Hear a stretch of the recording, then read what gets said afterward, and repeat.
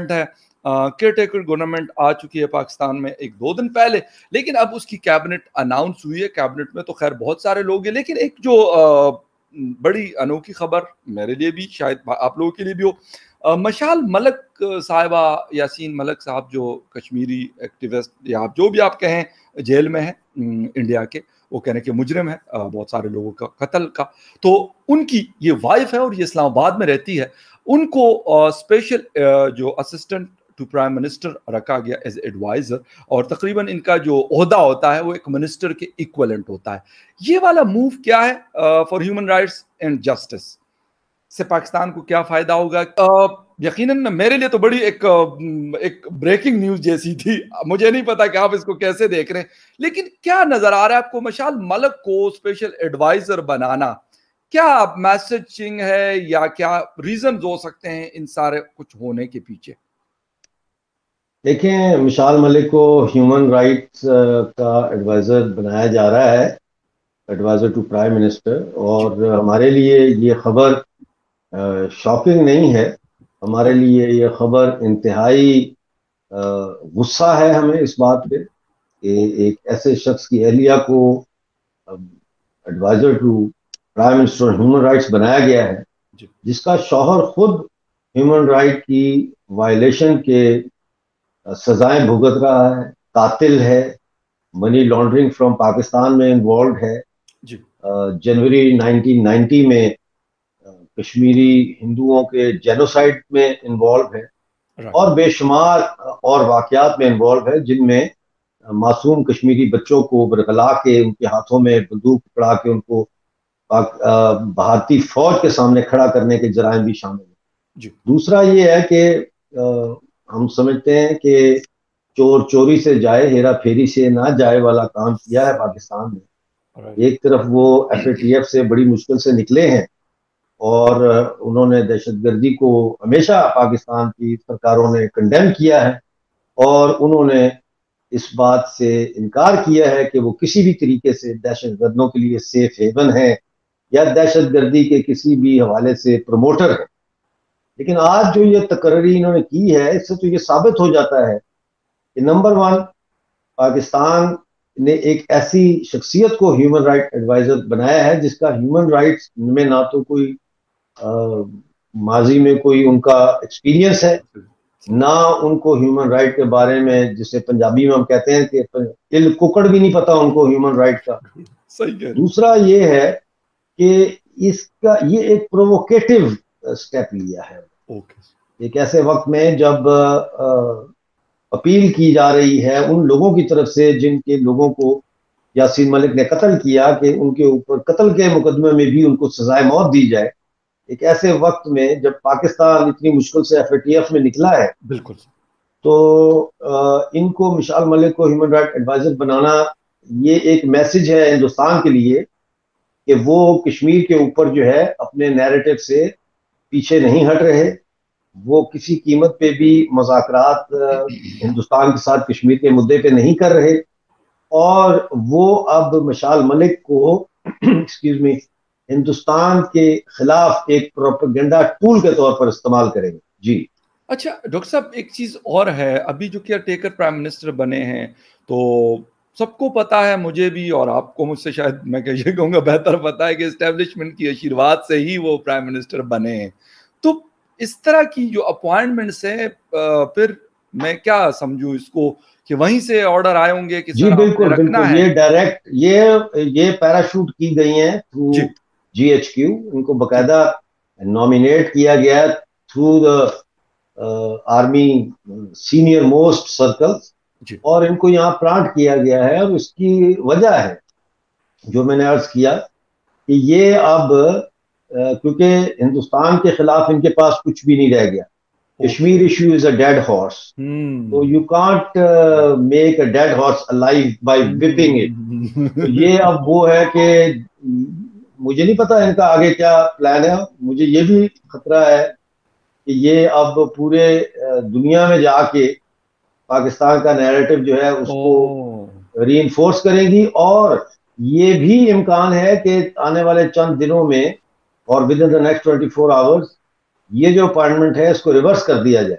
क्योंकि इस वक्त इसके अभी ये ताज़ा खबर है। जिसके खिलाफ बहुत ज़्यादा रिप्रकशन होगी। सबसे पहले तो ये है कि देखे ना इंडिया तो आसानी से ये अब कह सकता है कि जी पाकिस्तान ने तो एक हमारे डेजिग्नेटेड टेररिस्ट की बीवी को ह्यूमन राइट का एडवाइजर बनाया है। तो ये पाकिस्तान के बहुत खिलाफ जाती है और पाकिस्तान को इसका बड़ा नुकसान होगा क्योंकि सिर्फ़ ये नहीं है कि पाकिस्तान प्रोपेगेंडा करेगा। जब भारत और हम लोग जो सताए हुए हैं इस दहशत गर्दी के पीओजे के लोग हम भी तो इंटरनेशनल फोरम्स पे जा रहे हैं। हम्म। जब हम वहाँ फैक्ट्स रखेंगे दूध का दूध पानी का पानी हो जाएगा। आपका क्या ख्याल है कि विशाल मलिक को ये यूएनएचआरसी में भेजेंगे और इंटरनेशनल फोरम्स में भेजेंगे तो हम वहाँ पे इनका मुकाबला नहीं करेंगे। बिल्कुल हम मुकाबला करेंगे। और पाकिस्तान के किसी भी ऐसे इकदाम को हम कन्फ्रंट करेंगे जी। जो हमारे जो पाकिस्तानी ऑक्यूपाइड जम्मू कश्मीर ऑक्यूपाइड गिलगित बल्तिस्तान के हवाले से मुबालगा आरई पे मबनी हो। जी। अच्छा डॉक्टर साहब एक चीज़ आपने बताया कि बताई ये बात कि यासीन मलक कैद में है हिंदुस्तानी जेल में है उनके ऊपर बहुत सारे एलिगेशन है मतलब केस का खैर फैसला भी हुआ है आ, कुछ केसेस में और डेथ सेंटेंस की बात हो रही है कि उनको डेथ सेंटेंस दी जाए। लेकिन आ, मशाल मलक के ऊपर तो ऐसा कोई एलिगेशन नहीं है। तो इंटरनेशनली आप जो बात कर रहे हैं पाकिस्तान को इसका फ़ायदे के मुकाबले में आप ये समझ रहे कि नुकसान ज़्यादा हो सकता है। In the long run Pakistan को नुकसान होगा। आ, और उसमें देखें मिशाल मलिक की तो शादी के बारे में भी ये कहा जाता है कि आईएसआई ने शादी करवाई है। इंट्रोड्यूस ही आईएसआई ने करवाया है इन दोनों को। एक फाइव स्टार होटल के हाई टी वाली जगह पे बिठा के। जी। दूसरा ये है कि मिशाल मलिक जहाँ तक मेरी मालूम है ये तो कश्मीरी भी नहीं है। अच्छा। और तीसरी बात ये है कि मिशाल मलिक बेशक उन्होंने खुद किसी को पत्थर नहीं मारा या उन्होंने खुद किसी को गोली नहीं मारी लेकिन वो किस चीज़ का मुकदमा लेकर जाएँगी आलमी सतह पे? यासीन मलिक का लेके जाएँगी। हम्म। और यासीन मलिक कौन है? डेजिग्नेटेड टेररिस्ट है। तो इस ह्यूमन एलिमेंट को इस्तेमाल करते हुए कि जी ये मेरा शौहर गिरफ़्तार है वो असल में तो एक टेररिस्ट के लिए जो है वो कैंपेन करेंगी और एक टेररिस्ट को कोशिश करेंगी पूरी अपनी के उसको एक प्रिजनर ऑफ़ कॉन्शियस जमीर का कैदी साबित करें। वो जमीर का कैदी नहीं है।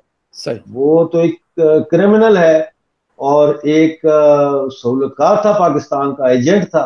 पाकिस्तान से पैसे लेके उन्होंने कश्मीर का बेड़ा गर्क किया तीस साल अब उसकी वो सजा भुगत रहे जी।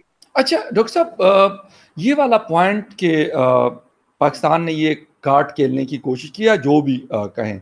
इससे हिंदुस्तान के ऊपर क्या कोई प्रेशर आएगा या उनको कोई जो उनका नैरेटिव है उसको नुकसान पहुँच सकता है? नहीं उसको तो फ़ायदा होगा। इसलिए अच्छा। कि अब पहले तो ये छुप छुपा के काम कर रहे थे। जी जी। तो अब आमने सामने हम होंगे। उधर से मिशाल मलिक होगी इधर से हम होंगे।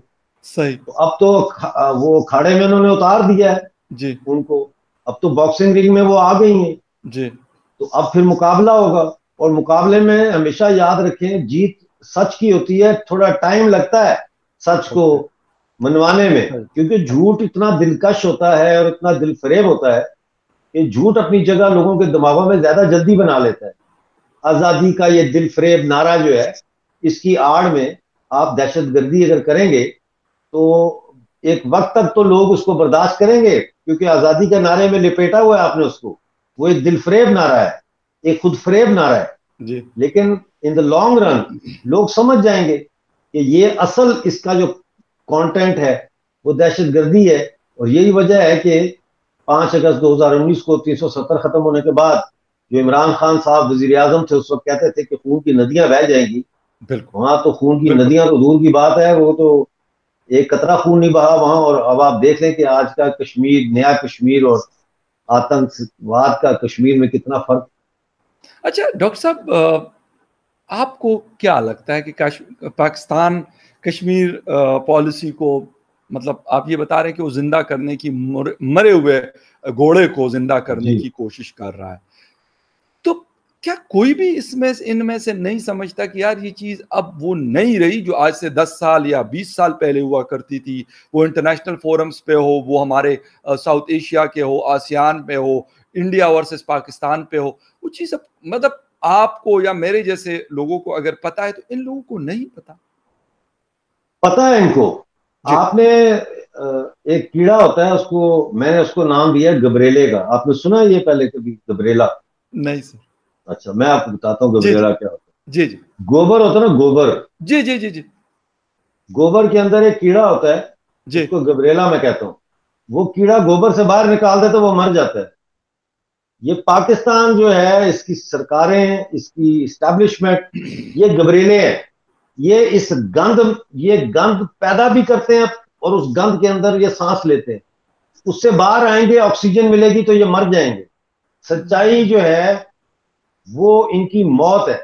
लिहाजा ये जितना बड़े से बड़ा झूठ और बड़े से बड़ा जो है वो स्कैंडल बनाते हैं, दूसरों के खिलाफ और उसकी आड़ में उसके पीछे छुपते हैं, ये इनकी ज़रूरत है।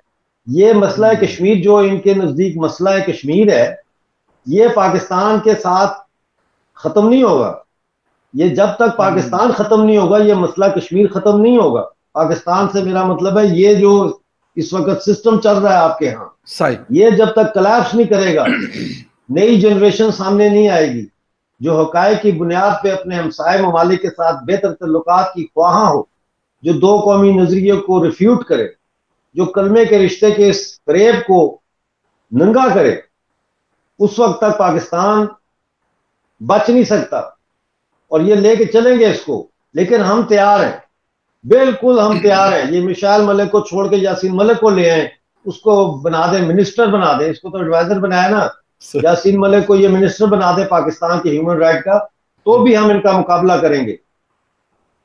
अच्छा डॉक्टर साहब एक चीज़ और है क्योंकि यूनाइटेड नेशन बहुत बड़ा फोरम है वहाँ पे आ, ये कहा जाता है कि ठीक है उस तरह की सुनवाई अब पाकिस्तान की नहीं होती जिस तरीके से पहले हुआ करती थी। या यूरोपीय यूनियन है या फिर और बड़े सारे फोरम्स है ओ में आ, कभी यस कभी नो वाली सिचुएशन रहती है। लेकिन अगर मशाल मलक जाती हैं यूएन के किसी फोरम पे और इस तरह की तो आपको लगता नहीं है कि यासीन मलक का की जो आवाज़ बनने की यकीन उनकी वाइफ है वो तो वो ज़्यादा स्ट्रांग हो सकती है हो सकता है उनको फ़ायदा तो मैं ये नहीं कह सकता कि इंडिया उसके लिए कोई लॉस चेंज कर देगा बट फिर भी एक प्रेशर बिल्डअप हो सकता। देखिए एक होता है म्यूज़िक जी। ठीक है ना? एक होता है शोर। जी। म्यूज़िक इंसान सुनते सुनते उसकी रूह को ताजगी मिलती है एंजॉय करता है। एंजॉय करता है। शोर से इंसान घबराता है दूर भागता है। ये शोर डालेंगे जितने लोग भागेंगे। ये शोर डालेंगे। अच्छा। हम हम म्यूज़िक लेके जाएँगे। हम दर्द का म्यूज़िक लेके जाएँगे। हम अपने दर्द के जो हमारे दर्द के सुर हैं, उनके ताल जब छेड़ेंगे और लोगों को बताएँगे कि हमारे यहाँ सात लाख नौजवान बेरोजगार है, बीस लाख की आबादी हमारी अब पीछे रह गई है, बीस लाख मुझसे बाहर है, उस बीस लाख में से सात लाख नौजवान बेरोजगार है। आज पलंदरी के पास आटा तकसीम करते हुए अभी कंफर्म नहीं है, लेकिन दो औरतें ट्रक से गिर के मर गई हैं आटा लेने के चक्कर में। जब हम उनको ये बताएँगे कि 17 अगस्त को आज के दिन पूरा दिन मुजफ्फराबाद में प्राइम मिनिस्टर के ऑफ़िस के बाहर पेंशनर्स ने धरना दिया क्योंकि तीन महीने से उनको पेंशन नहीं मिली। जब हम लोगों को बताएँगे कि हमारे किसी गाँव में किसी कस्बे में किसी शहर में आटा और गेहूँ नहीं मिल रहा जब हम उन्हें बताएँगे कि हमारे से ज़बरदस्ती साइन करवाए जाते हैं इलाके पाकिस्तान के और फिर हमें सरकारी नौकरी दी जाती है या हमें इंतबात में खड़े होने दिया जाता है जब हम उन्हें बताएँगे कि हमारे अस्पतालों में सांप कुत्ते के काटने की वैक्सीनें नहीं है जब उन्हें हम बताएँगे कि मुजफ्फराबाद में 2005 के जल्जले में 811 स्कूलों की इमारतें जो तबाह हो गई थी वो आज तक नहीं बनी इसके बावजूद के अरबों रुपया बाहर से आया है। हाँ, वगैरह वगैरह। तो फिर वो दर्द के जो सुर होते हैं और दर्द का जो म्यूज़िक होता है ना वो ज़्यादा ताकतवर होता है वो आँखों से आँसू निकाल देता है। सही। शोर अच्छा, ये करेंगी तो लोग कानों में उंगलियाँ ठोस लेंगे। लेकिन, लेकिन लेकिन डॉक्टर साहब आपको नहीं लगता कि मशाल अगर किसी फोरम पे कड़ी होती है तो वहाँ हम्म, हम्म। पे वो थोड़ा बहुत इन्फ्लुएंस क्रिएट कर सकती है? यानी क्योंकि पिछले हम ये तो एक देख देख रहे हैं कि सात आठ सालों से उनके ऊपर काफ़ी वर्कआउट किया गया मुख्तलिफ़ चीज़ें करवाई गई। इन्फ्लुएंस कर सकती है लेकिन वो इन्फ्लुएंस जो है वो Pakistani establishment Pakistani foreign office के झुरमट में इन्फ्लुएंस पैदा करेंगी। वो उससे ज़्यादा बाहर नहीं जाएगा। हम इंडिपेंडेंट ह्यूमन राइट एक्टिविस्ट के तौर पर अपनी कौम को रिप्रेजेंट कर रहे होंगे। हमारे ऊपर पाकिस्तान की कोई सरकार का कोई वहाँ प्रोटोकॉल नहीं होगा। तो ऑब्वियसली जब ये जाएँगी तो she will be addressing any international forum on behalf of Pakistan government I will be addressing the same forums on behalf of my own people there is a big difference सही। लेकिन लेकिन doctor साहब, आप ये बात बिल्कुल सही है। आप कोशिश, अपना आपका एक नैरेटिव है, अपना एक मूवमेंट है, जो भी चीज़ें हैं। आप उसके लिए कोशिश करते हैं, मेरे ख्याल में वो आपका अपना एक वो हो, होता होगा। लेकिन आपको लगता नहीं कि अगर गवर्नमेंट उनके साथ कड़ी है और आपकी मूवमेंट के लिए यकीनन इतना आसान नहीं होता। हम बलूचिस्तान को देख रहे हैं हम के पी में ये हमने किसी ज़माने में हमने ये चीज़ें देखी। अब अगर कश्मीर या जीबी में ये होता है तो ये मतलब इसको एंड तक ले जाना एक समटाइम में नामुमकिन तो खैर दुनिया में कोई चीज़ नहीं होती लेकिन ऐसे लगता है कि समटाइम ये इम्पॉसिबल वाले सर्कल में आ जाती है ये चीज़। देखिए इस वक्त सूरत हाल ये है कि पाकिस्तान में जो मुख्तलिफ़ आज़ादी की तहरीकें चल रही हैं जी। उनमें दो चीज़ें हैं जो नोट करने वाली हैं। जी। बलोचिस्तान में चल रही है मूवमेंट मुसल्ला जो तो जो चल रही है बिल्कुल। एक से ज़्यादा तंजीमें चला रही बिल्कुल चल रही लेकिन वो किसी हतमी अंजाम तक नहीं पहुँच पा रहे। उसकी वजह यह है कि बलूचिस्तान की तहरीक आज़ादी में क्यादत का फुकदान है। उनके पास इंटरनेशनल लेवल पे कोई ऐसा लीडर नहीं है जो उनकी पूरी कौम को रिप्रेजेंट कर सके। वो सब अपने अपनी तंजीमें अलग अलग रिप्रेजेंट कर रही हैं। ओके ठीक है? पाकिस्तानी ऑक्यूपाइड जम्मू कश्मीर में कोई मुसल्ला तहरीक नहीं है। Yes. किसी ने बंदूक नहीं उठाई। ये सही कह रहे ठीक है ना? लेकिन पाकिस्तानी कब्जे वाले जम्मू कश्मीर के पास एक यूनिफाइड लीडरशिप मेरी शक्ल में मौजूद है जो पूरे पीओजेके को इंटरनेशनल फोरम्स में रिप्रेजेंट कर रही है। लिहाजा हमारी सिर्फ़ भी सही है हमें यह भी पता है हम कहाँ जा रहे हैं कि हमने भारत के साथ रीयूनिफाई होना है। हमारा सारा कुछ बिल्कुल क्लियर है। और चूँकि हम इतने क्लियर हैं अपने टारगेट में अपने मकसद में तो इसलिए मैं समझता हूँ कि हम अपने हदफ को ज़्यादा बेहतर तरीके से और ज़्यादा जल्दी हासिल कर लेंगे। लेकिन डॉक्टर साहब मूवमेंट्स आपको पता है कि मूवमेंट्स को डीकेड्स लग जाते हैं सम टाइम करें डीक्रेडिट करें क्या करें क्या कैसे करेंगे? यही कहेंगे ना कि डॉक्टर अमजद इंडिया का एजेंट है।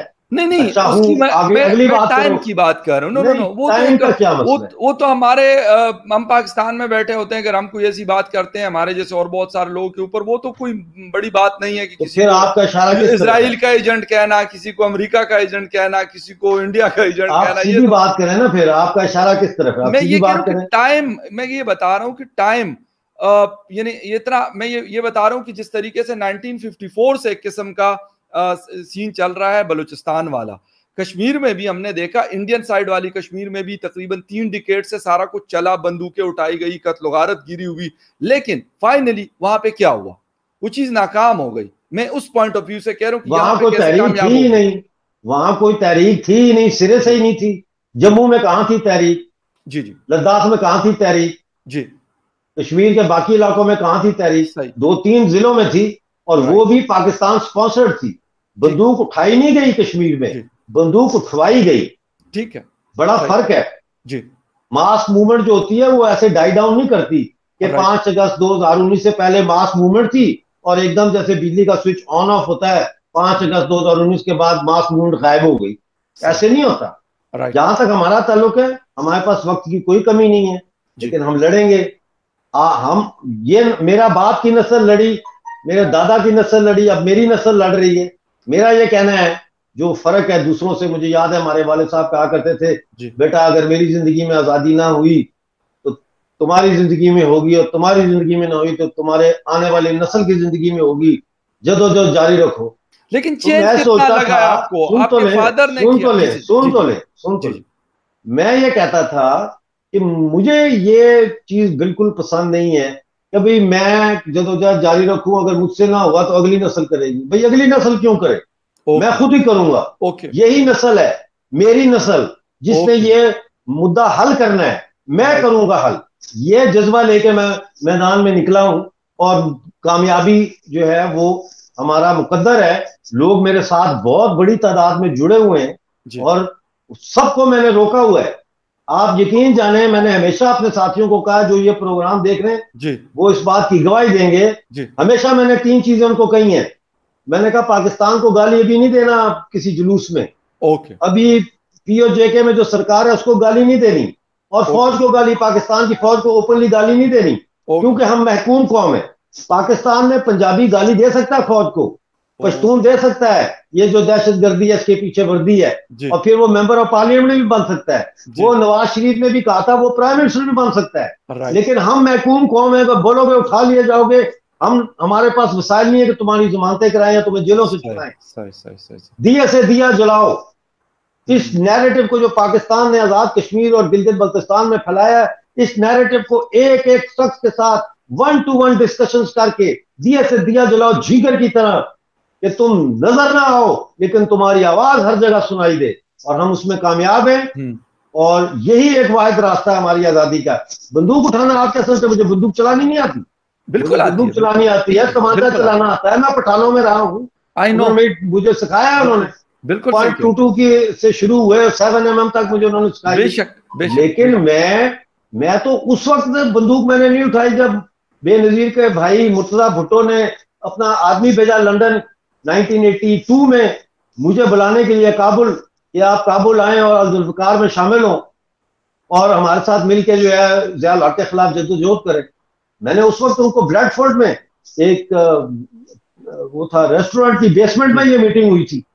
मैंने उस वक्त इनकार किया। मैंने कहा मैं गुरीला ये जो दहशत गर्दी इनफरादी दहशत गर्दी इसमें मैं यकीन नहीं करता। गुड। मैं मास मूवमेंट में यकीन रखता हूँ। हाउ ओल्ड वाज आई 22 आज हाउ ओल्ड एम आई 64 होने वाला हूँ। ज़बरदस्त ज़बरदस्त ज़बरदस्त। तो मैं शुरू से बिल्कुल क्लियर हूँ। इस वक्त अच्छा, मेरे अंदर एक तजाद चल रहा है। मेरे अंदर एक तजाद चल रहा है।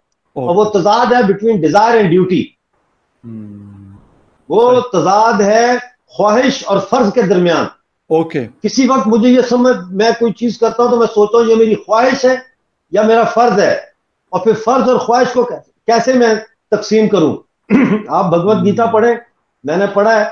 अर्जुन का भी डिज़ायर एंड ड्यूटी का कॉन्फ्लिक्ट था। उसको सॉल्व किया कृष्ण कृष्ण ने उसको समझाया उसको सॉल्व किया। मैं भी मेडिटेशन करता हूँ पूछता हूँ सोचता हूँ। मुझे भी किसी वक्त गुस्सा आ जाता है मैं कहता हूँ ऐसी की तैसी चलो उठाओ बंदूक इनकी ऐसी तैसी फेर दूँगा जाके। फिर मैं मेडिटेशन करता हूँ मैं अपने आप को पुट टुगेदर करता हूँ अपना और मैं कहता हूँ नहीं जदोजहद होगी। सही सही सही अच्छा डॉक्टर साहब एक चीज़ छोटी सी आपसे पूछनी है एक तो ये कि चेंज कितना आया? और द सेकंड थिंग कि इंडियन साइड वाले कश्मीर की हम डेवलपमेंट बहुत सुनते हैं क्योंकि हमें से तो देखा किसी ने नहीं लेकिन सोशल मीडिया पे खबर भी आती है कुछ वीडियो भी लोग शेयर करते हैं। उसका कितना इम्पैक्ट हो सकता है आपकी मूवमेंट हो या फिर हमारे लोग वैसे भी? बहुत ज़्यादा। क्योंकि अगर मुझे अगर बहुत ज़्यादा नहीं मिले और किसी और को मिले जी। बहुत ज़्यादा इम्पैक्ट है। और अगर कश्मीर में, इंडिया में जो कश्मीर है, यूनियन टेरिटरी, वहाँ के अगर हकूक सलब हो रहे होते, वहाँ के लोगों के साथ अगर ज्यादती हो रही होती, वहाँ पे अगर भारतीय सरकार कश्मीर को, जम्मू को, लद्दाख के लोगों को ऐसे हाँक रही होती, जैसे पाकिस्तान हमें हाँक रहा है तो मैं उनकी भी आज आवाज़ बना होता। लेकिन मैं यही कह रहा हूँ कि एक डेमोक्रेटिक सेटअप जो दिया हुआ है इंडिया का उसमें हमें वापस जाना चाहिए। हमें उस उन डेमोक्रेसी के असूलों को इस्तेमाल करते हुए अपने 40 लाख आबादी जो हमारी 20 बार है 20 घर पे है इस 40 लाख की आबादी 78.59 ट्रिलियन रुपीस के मादनियात पे बैठी है भूखी मर रही है। hmm. मुझे ना सोशलिज्म के साथ कोई लेना देना है, ना इस्लामी निज़ाम के साथ कोई लेना देना है, ना किसी और सिस्टम के साथ लेना देना मेरा बुनियादी सवाल यह है कि मेरे लोग पहले मेरे अपने लोगों को रोटी खिलाऊं, उसके बाद जिसने सोशलिज्म करना है सोशलिज्म करे, जिसने जो करना करे। लेकिन सबसे पहले हमें अपने कौमी सवाल को एड्रेस करना पड़ेगा। सबसे पहले लोगों की भूख मिटानी पड़ेगी। हमारे लोग रोज जी रहे हैं, रोज मर रहे हैं। हम्म बिल्कुल सही है, बिल्कुल सही है और मेरे ख्याल में सबसे इम्पोर्टेंट चीज़ जो डॉक्टर साहब कह रहे हैं, वो है जी ह्यूमन राइट्स आप अगर किसी को उनके राइट्स देते हैं, उनके हकूक़ देते हैं तो यकीनन बहुत सारी चीज़ें शायद वो भूल भी जाते हैं और आपकी बहुत सारी पॉलिसियों को ठीक भी कहते हैं। अगर ऐसा नहीं होता तो उसका रिज़ल्ट उसका अंजाम अच्छा नहीं होता। वो सिर्फ़ बात कश्मीर की नहीं है, ये पूरी दुनिया का कानून है। वो अफ़गानिस्तान हो पाकिस्तान हो कश्मीर हो गिलगित बल्तिस्तान हो चाइना हो या हिंदुस्तान हो या कोई और दुनिया का मुल्क हो यही होता है। डॉक्टर साहब आपके टाइम का बहुत शुक्रिया कि आपने शो ज्वाइन किया। बहुत शुक्रिया। And viewers thank you very much for watching debate with Fakhar Yusuf ji किसी डिबेट में फिर मिलेंगे तब तक के लिए take care bye thank you sir